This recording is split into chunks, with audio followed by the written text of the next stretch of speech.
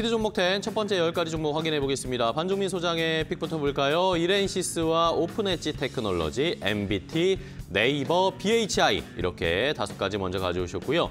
이태건 전문가의 픽은 디알텍과 솔루엠, 화인써키트, 와이랩, 플리토 이렇게 10가지 종목을 먼저 가져오셨습니다. 시청자 여러분들은 이 10가지 종목 가운데 어떤 종목이 눈에 띄시나요?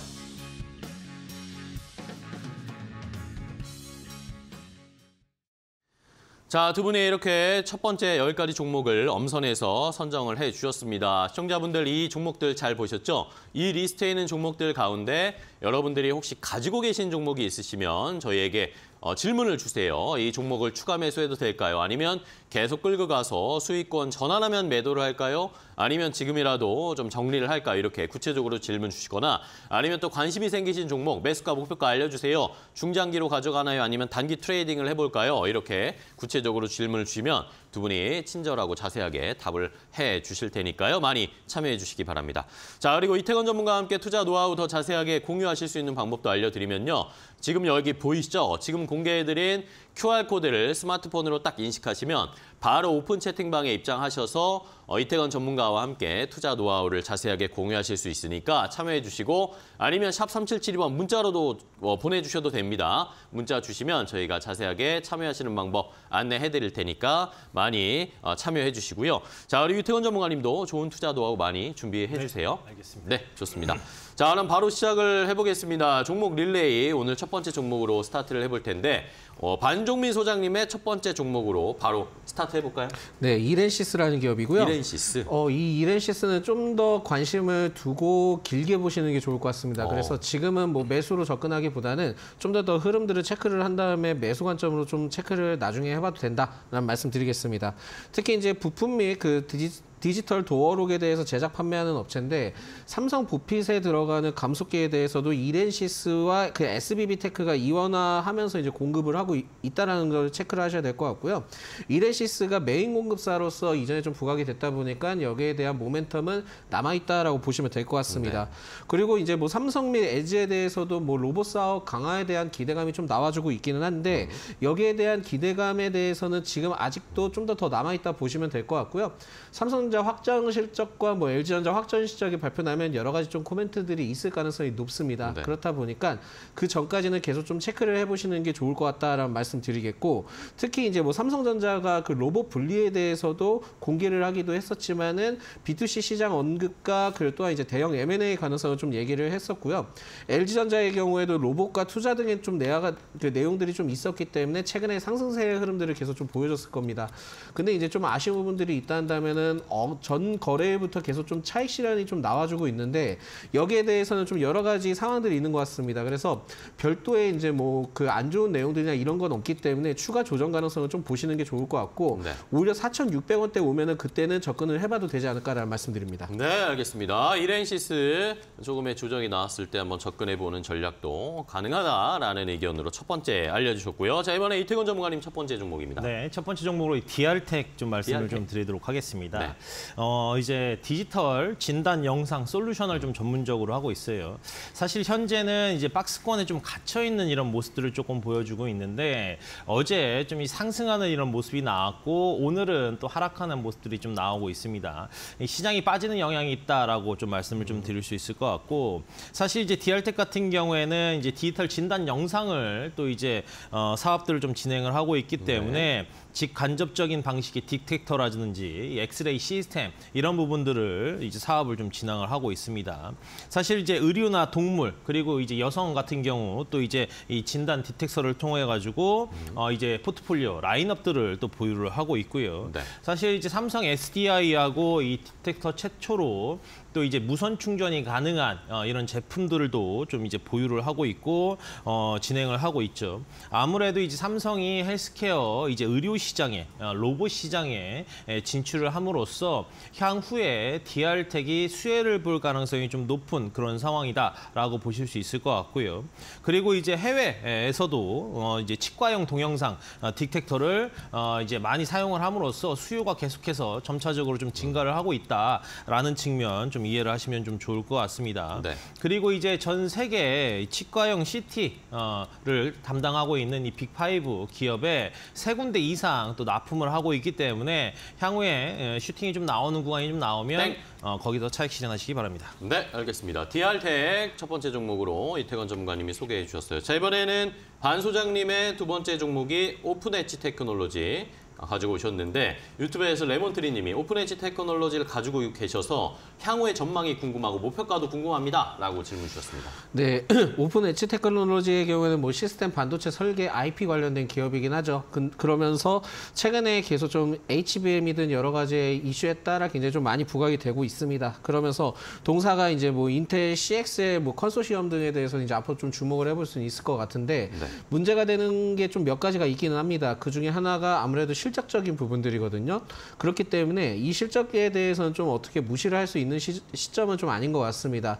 근데 이제 뭐 최근에 보고서가 나왔다 한다면은 뭐 2025년 때는 흑자 전환이 기대가 된다라는 내용들이 좀 나와줬기 때문에 이 점을 봤을 때는 상당히 좀 더 더 흐름들이 좋아질 가능성도 있지 않을까라고 보고 있고요.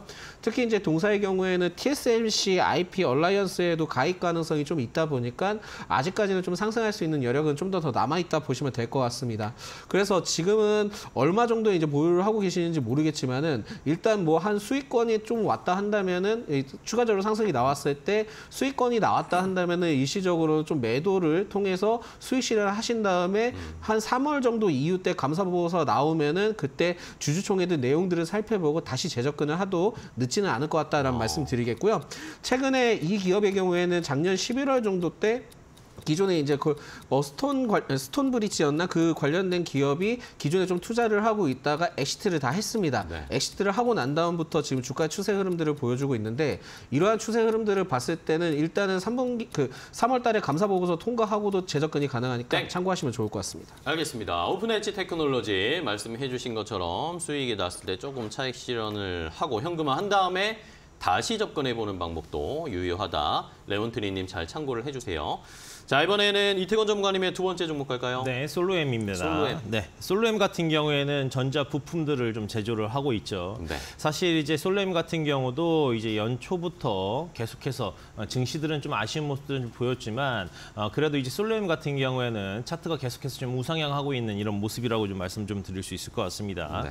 어, 파워 모듈이라든지 디지털 튜너 어, 그리고 ESL 이런 부분들을 좀 생산을 하고 있는데 삼성 전기에서 좀 분사를 했죠. 아, 그렇기 때문에 이제 이 솔로엠이 하고 있는 이제 ESL 이런 매출들이 어 뭐 이제 시장에 글로벌 시장에서도 어 이제 시장에서도 2위에 좀 등극하는 이제 작년 같은 경우는 2위에 등, 좀 등극을 했습니다. 어 이제 제품이 이제 아무래도 단가가 높은 제품들을 비중을 좀 높임으로써 수익률이 많이 좀 긍정적인 이런 모습들을 좀 보여주고 있고요. 아무래도 이제 판매량도 좀 증가를 하기 때문에 수익성도 굉장히 좀 개 선이 되고 있는 이런 부분이다라고 보시면 될 것 같습니다. 그리고 이제 파워 모듈 부분도 이제 제품군이 점차 확대가 되고 있기 때문에 이런 부분들 역시 매출에 많은 도움이 될 거라고 좀 보여지고 그리고 이제 작년 하반기부터 스마트폰 충전기 관련해서 어, B2C 매출도 기존에 좀 약한 모습들을 좀 보였지만 다시 이제 정상화 궤도에 좀 올라선 모습들이 좀 나타남으로써 네. 올해는 좀 기대를 해봐도 좀 되지 않을까. 전 고점 부근인 32,000원 선을 좀 이제 터치를 할 가능성이 좀 높은 측면에서 관심 있게 지켜보시면 좋을 것 땡! 같습니다. 알겠습니다. 솔로엠까지 자세하게 설명을 해 주셨어요. 자 이번에는 반 소장님의 다음 종목 갈까요? 네, NBT고요. NBT. 이 NBT는 계속 좀 모멘텀이 남아 있습니다. 그래서 기존에 좀 보유하셨던 분들은 계속 좀 지켜보자라는 말씀드리겠고 동사의 경우에는 지금 뭐 포, 포, 그 모바일 포인트 관련된 사업을 영위를 하고 있는데 작년 3분기 누적 매출만 해도 780억 정도 됩니다. 그러면서 그 이전에 동일 기간 대비 최대치를 좀 기록을 하고 있는데 어 지금은 뭐 점진적으로 매출이 계속 좀 성장하고 있기 때문에 네. 4분기도 좀 기대를 해볼 수 있을 것 같고 흐름을 봤을 때는 내년도 좀 기, 어, 올해도 기대를 해볼 수 있지 않을까 보고 있습니다.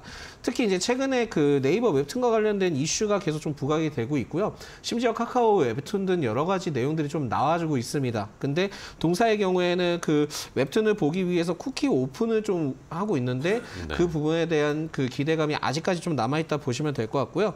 에, 그 동사에 이제 애디슨 offerwall이라고 있는데 이 제휴사가 바로 네이버 페이입니다. 근데 네이버 웹툰과 페이 등을 통해서도 오퍼월 광고 서비스를 공급 중으로 하고 있다 보니까 플랫폼 수혜에 대해서 기대감이 좀 상당히 남아있다 보시면 될 것 같고 최근에 이제 뭐 트위치와 관련된 이슈도 나와주고 있기는 합니다. 근데 그 트위치의 경우에도 아마 다음 달까지는 계속 좀 이슈가 나올 가능성이 높다 보니까 이 점을 봤을 때는 계속 좀 관심을 가질 필요가 있을 것 같고 요. 네. 결국은 이제 트위치를 통해서도 그 트위치 철수했다는 기대감을 통한 그 치즈직에 따른 이제 모멘텀이 있을 때도 결국은 그 치즈와 관련된 부분들도 있다 보니까 이 점을 살펴보실 필요 있을 것 같고 또한 토스와 관련된 내용도 있기 때문에 추가 상승할 수 있는 여력은 좀 더 더 남아 있다라고 보시면 될 것 같습니다. 네, 알겠습니다. MBT까지 자세하게 여러 가지 모멘텀들 설명을 해주셨어요. 자, 이번에 이태원 전문가님의 세 번째 종목입니다. 네, 화인 서키트입니다. 화인 서키트. 네, 화인 서키트는 사실 이제 어제도 좀 슈팅이 좀 나 왔고 네. 오늘도 좀 윗꼬리를 달긴 했지만 양봉인 그런 흐름들이 좀 나타나고 있습니다. 음. 어, 한동안 굉장히 지금 저점에서 계속해서 횡보하는 이런 모습들이 좀 보여줬는데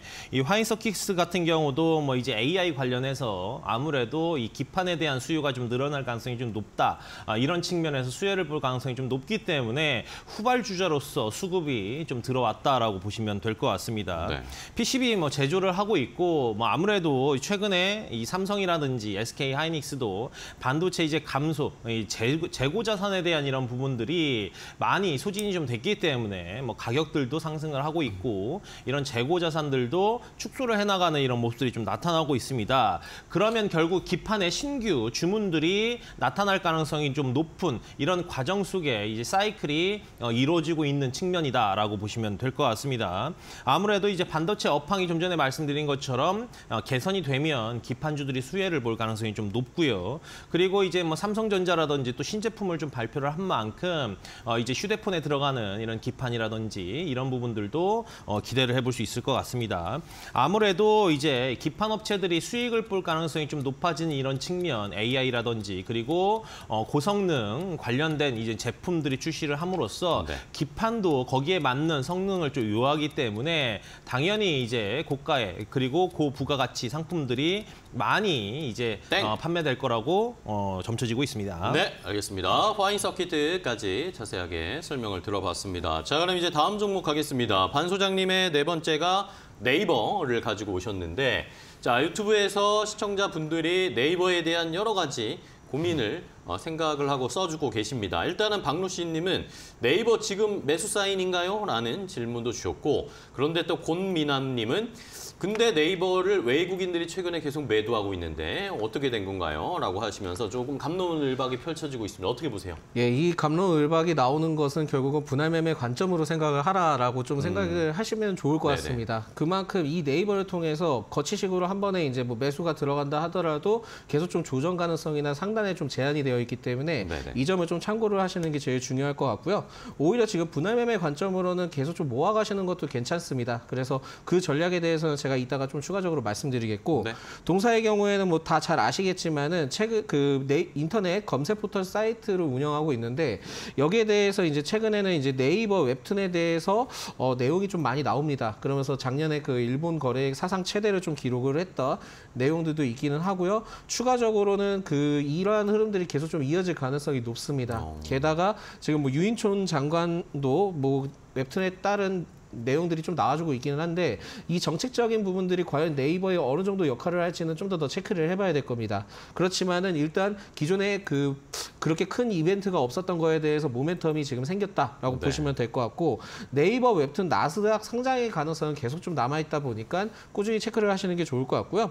그리고 뭐 하이퍼 클로바 X나 AI 관련된 쪽은 지금은 아직 실적적인 부분들이 크게 잡히지 않고 있는데 여기에 대해서는 지금 네이버가 광고를 통해서도 좀 진행을 해보겠다라고 했기 때문에 아마 중장기적 관점으로는 계속 좀 유효할 겁니다. 그렇지만은 굉장히 다이나믹하게 올라가기에는 시간이 좀 걸릴 수 있기 때문에 구간을 좀 적절하게 정하셔야 될 것 같은데요.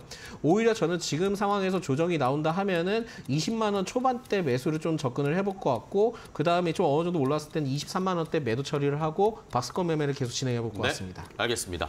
자, 네이버에 대한 투자 전략을 세워드렸습니다. 계속 좀 모아가는 적립식 투자의 전략을 세워주셨 으니까 좀 길게 보고 네이버는 접근을 해보겠습니다.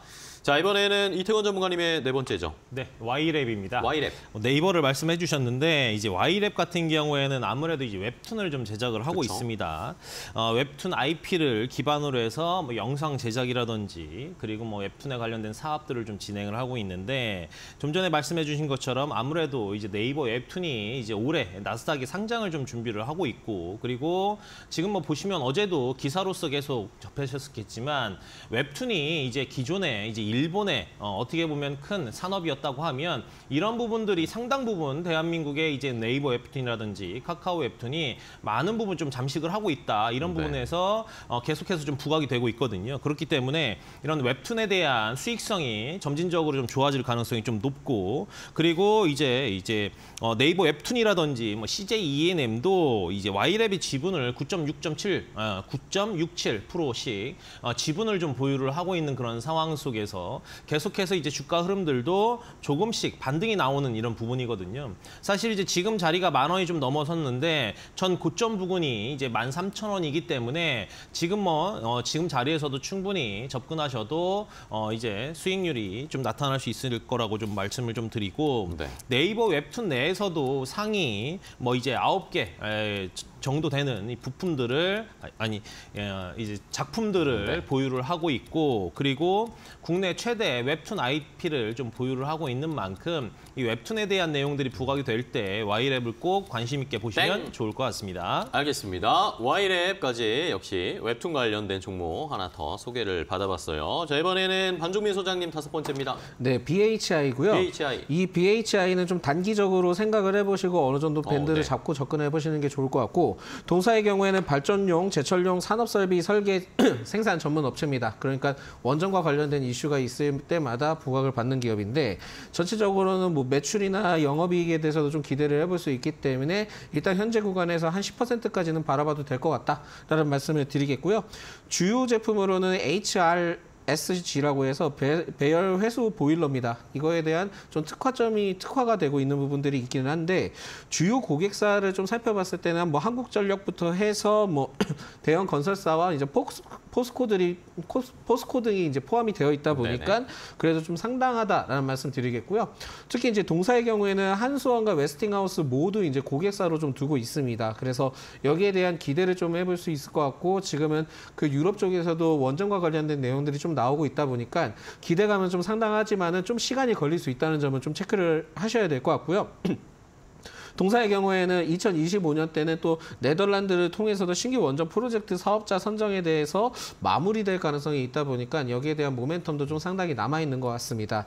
근데 뭐 최근에 그 앞으로 모멘텀이 있다 한다면은 그 11차 전력 수급 계획인가? 그 부분들이 있기는 한데 여기에서 뭐 원전 4호기 정도에 대한 내용들이 좀 나오긴 했습니다만 정부에서 그 그걸 통해서 해명 자료를 좀 발표를 했기 때문에 그런 건 없다라고 얘기를 해서 여기에 대한 좀 어느 정도는 좀 어, 체크를 해보셔야 될 것 땡. 같다는 말씀드립니다. 네, 알겠습니다. BHI까지 원전 관련 종목으로 하나 더 소개를 받아봤습니다. 자, 이번에 이태권 전문가님의 다섯 번째는요. 플리토입니다. 플리토. 사실 이제 플리토가 지금 뭐 보시면 아시겠지만 전 고점을 좀 돌파를 하면서 좀 쉬어가는 모습들을 좀 보이고 있는데 네.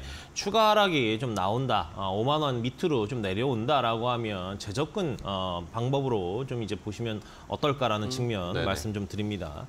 사실 최근 들어서 이제 AI 관련된 산업이 계속해서 확장이 되고 있고 그리고 삼성전자 역시 휴대폰에 이 AI를 탑재를 하면서 이 소프트웨어의 중요성이 다시 한번 또 이제 부각이 되면서 어, 플리토가 굉장히 상, 상, 상승하는 이런 모습들을 좀 보여줬어요. 사실 제가 이제 플리토를 두 달 전에 2만 8천 원대에서 또 이제 추천을 좀 드렸었는데 벌써 이 가격적인 부분에서는 두 배 가깝게 상승을 한 이런 부분이 좀 나타났죠. 그렇기 때문에 어, 이제 차익 매물들이 좀 나오면 그때 재진입하는 방법으로 좀 지켜보 시면 어떨까. 그리고 AI는 어, 지금부터 어, 점차 개화기에 좀 시작이 됐기 때문에 향후 이제 더 길게 보신다고 하면 충분히 이제 수익률, 큰 수익률 어, 줄수 있을 거라고 좀 보여집니다. 플리토 같은 경우에는 이제 전 세계 173개국 그리고 천만 명 이상 사용하는 이 번역 플랫폼을 가지고 있어요. 사실 이제 대한민국 같은 경우에는 영어와 다르게 어순이라든지 이런 부분들 때문에 번역에 상당 부분 좀 어려움이 있는데 플리토 같은 경우 경우에는 이제 국내 기업이기 때문에 번역하는 데에서 큰 어려움이 없다라는 측면 다시 한번 알고 계시면 좀 좋을 것 같고 그렇기 때문에 이제 해외에서도 러브콜이 굉장히 좀 많이 들어온다라는 측면 그렇기 네. 때문에 수익성도 점진적으로 좋아질 수밖에 없는 그런 기업인 땡. 측면 관심 있게 보시면 좋을 것 같습니다. 네, 알겠습니다. 플레이토까지 이렇게 두 분이 다섯 개, 다섯 개, 열 가지 종목을 전부 다 소개해 드렸습니다. 저희가 이렇게 전해드리는 방송 내용은요, 시청자 여러분들의 투자에 참고가 되는 내용을 알려드리는 겁니다. 최종 투자 판단과 결정은 시청자 여러분들께서 직접 내려주셔야 한다는 것은 다시 한번 강조를 드리겠습니다.